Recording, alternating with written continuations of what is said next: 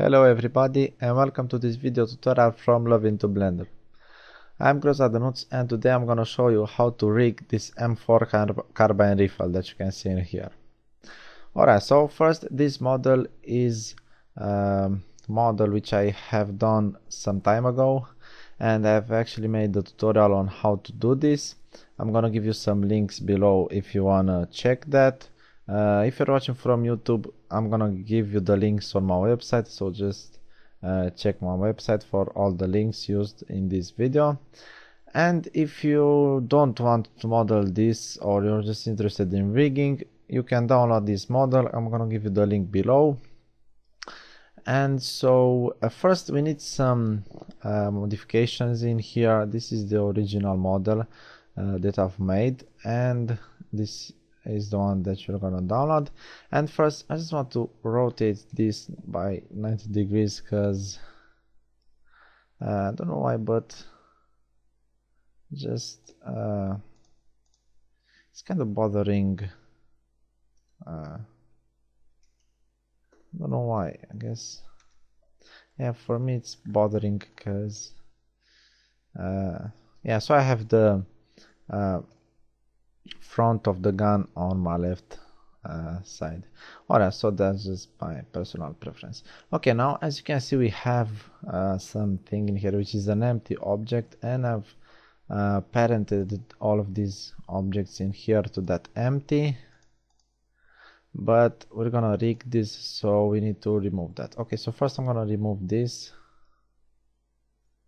But before that I'm gonna unparent all of these objects. So make sure everything's selected and uh, not this one and alt P uh, clear and keep transformations. Alright so now, now as you can see unparented and I can delete that. And now I need some modifications to the modeling of this as well. Okay so just some quick adjustments in here. As you can see this is a whole object but I want the trigger to be a different object. So I'm gonna select everything in here. Alright so I'm gonna disable this subsurf modifier for the moment. Okay. Unselect these ones. And let's see. Also got three vertices in here. Oh come on. Yeah. As you can see that's uh, what's happening there. So I unselected those three vertices there. And now I'm gonna press Y to make different uh, mesh something like that. Then I'm gonna I'm gonna grab all of this and oh wait. Unselect everything which is under so just shift L. Yeah then I'm gonna bring this up just a little bit to something like that okay so pretty much yeah with, with this one. And I wanna another thing in here. Yeah, I'm gonna select this and not that one. This one. Shift S cursor to selected. Now L also I have pressed a period so I rotate along the cursor. Then I'm gonna rotate this so it is uh, the thing is open in there. Okay, so I'm gonna rotate just a bit more. Something like that. And we need a bit of modeling on this uh, thing inside. So I'm gonna select these two objects uh, shift H to unhide everything else. I'm gonna tab into edit mode and first I want to make two objects out of this so just first hide this for the moment. And then well what I'm doing right now is not actually rigging. Uh, it's more like modeling but I need to do this uh, so I can properly uh, rig my model. So just some quick modeling in here. Right fill this face and this one. Right now I have two objects in there and then I can unhide uh, circle 7 yeah those names are not so uh, uh, not so well assigned. Well it's gonna work with them for the moment. So comma scale along z to make it a little bit rounder. I'm gonna look at this uh, look where the this hole is. I'm just gonna take this to the right about yeah to about there. Then I'm gonna bring this to to the right. Okay bring this a little bit more. Yeah perhaps I could bring them to the front just a little bit. Yeah and then I want to take these two and bring them to the right until about here I guess. And this one just a little bit. Okay so that should it. Uh, this should be the length of the bullet but you can model that at a later time. Okay so I'm gonna hide this and delete let's just say two faces in here. Um, two edge loops. Okay let's just take a look. Alright this needs to be just a little bit uh, bigger or wider. Just scale that uh, shift X something like that. Let's take a look. Ah, I think that should do it. Yeah I'm gonna raise this just a bit. And a bit more. Okay not so much. That should be awesome. Just gonna rotate everything a bit like this and, that should do it for the moment being. We're not much into modeling today. So alt H to unhide everything. And let's see. Okay so that fits uh, almost perfectly. Hangs out a little bit uh, in there but that's okay for the moment. Alright so yeah pretty much this is with the modeling what we needed to fix in there and then I'm gonna select all of these objects in here and I'm gonna control J. So I only have one object in there. Alright now I don't need a subsurf modifier so I'm gonna disable that so it should run a little bit faster. My computer okay control Z. Um, control Z again. Yeah before we make uh, we before we join all of those objects we need to apply this mirror modifier. So apply that mirror modifier. I forgot that. Forgot to do that. And then we could control J and make one object out of it. Okay. Okay so that's it. Now we're gonna start rigging first we need some vertex groups in here. So I'm gonna uh, make them let's just say three four. Now the first is I'm gonna name I don't know any name that you want. I'm gonna name control which is gonna control all of the mesh like all the gun. Then I'm gonna make the second one trigger. The third one actually I don't know how I should name this but I'm just gonna give it a random name. And we're gonna see later what this does? So let's just say shoot. Uh, shooting uh, bullet.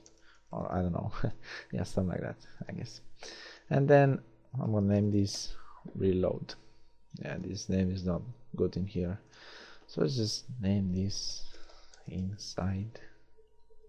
Pretty sure this operation has a name but I don't know what it is so yep. It's gonna go on. Right now I need to add the bones so add armature single bone. Okay. First I'm gonna snap my cursor to center so that bone is aligned to the center. Okay now into edit mode uh, perhaps enable x-ray so I can see my bone. And the first one is going to be the control. As I was saying just place that wherever you want. Maybe right here where the handle is. Yeah. And if you want you can also rotate this. Maybe bring this in here and some like that. Okay then shift a uh, no. Just now my cursor and then shift a to add another bone uh, which I think yeah I'm gonna rotate 180 degrees. This is gonna be the trigger. So maybe something like this. Okay this should do it my again and then another bone. Uh, which I'm gonna rotate negative 90 degrees. Just gonna place this one right in here. About uh, yeah something like that. Then another bone 90 degrees negative as well and this should be right here. Okay great. That's pretty much placing the bones now I need to name them. So I'm gonna go into pose mode. And you can name the armature as you wish. I'm gonna name this M4 rig or armature or something like that. And then this bone is going to be the control one so control. And make sure you name them exactly as these um, names in here. Uh, well first uh, oh sorry I forgot to do one thing. I need to actually apply these vertex groups because I didn't apply them so just tab into edit mode. So select all the first control and assign so the control is assigned to all the mesh. Then the trigger is assigned to this object only. So assign uh, inside is going to be this object. So that one and the sign. And the reload is going to be this one that part and assign. And now if I go into weight paint I can check if everything is alright they should be uh, full red. Okay so uh, red yeah and here. The trigger is red. Uh, this is red. That is red so it's alright okay now back to our bones I named this control and this one is going to be trigger. So trigger. And this one let's just check. Yeah inside. It's gonna be inside. And this one is going to be reload. Okay so yeah I think that's that's that. And now I'm gonna parent this. So select the gun first and the last one should be the bones. And control P set parent to uh, with empty groups. Okay.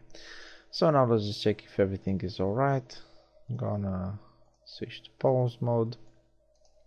This should be the control and everything is almost alright except that when I move this control point uh, control bone uh, these objects get a little bit offset or something like that because the this bone won't move and uh, the trigger mesh will move. So I need to parent the bones to the control one. So just into edit mode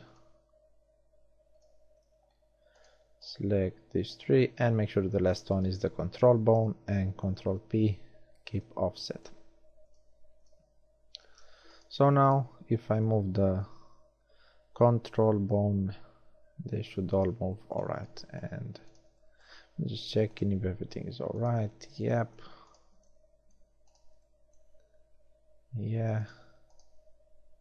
And yes. Alright so pretty much this is done. I mean the rigging is done. Just one um, thing that I can do to make my uh, to make it just a little bit easier. Just gonna disable X-ray I could add some uh, uh, where is constraints. Yeah constraints. That was the name. So I could add some constraints because this I don't want it to move uh, like in every direction. So just something like this till it brings the bullet out and I'm not constrain it to that. So first I'm gonna start with this trigger. Gonna make a constraint for these three objects. So I'm gonna start with this one. Because the control one I mean you can move the gun wherever you want. Okay so select that one in pose mode and limit rotation. Now I'm gonna use the local space for this one and just see which uh, direction. Okay so it's local z the axis that I want. So I'm gonna limit this limit z local z and minimum will be just playing around with this and see what what value I need in there. Because you can take the values from here yes. you can take these values because they won't work. I mean they're not the same. Yeah maybe negative 50 oh that's too much. Negative 30 yeah and I think that should do it. Alright. Now this one just gonna disable x-ray because I can't see the that object. And I'm gonna add the location a limit location.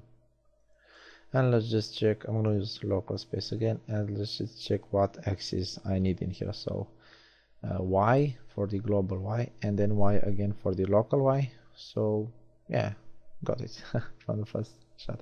Yeah it's the local y that I need to constrain so y yeah it's a positive value. So checking everything and y positive uh, how much should I put in there let's see um, so I think something like this so point uh, negative 0.51 yeah negative 0.51 oh wait. Zero. In here negative 0.51 so that's minimum not maximum.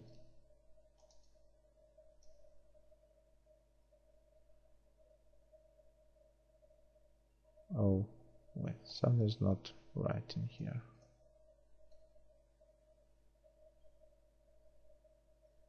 Uh, yeah why oh so that's uh, positive if it's along local y.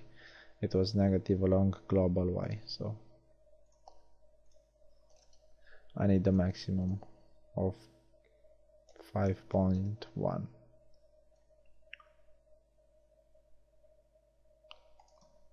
uh, 0.51 yeah.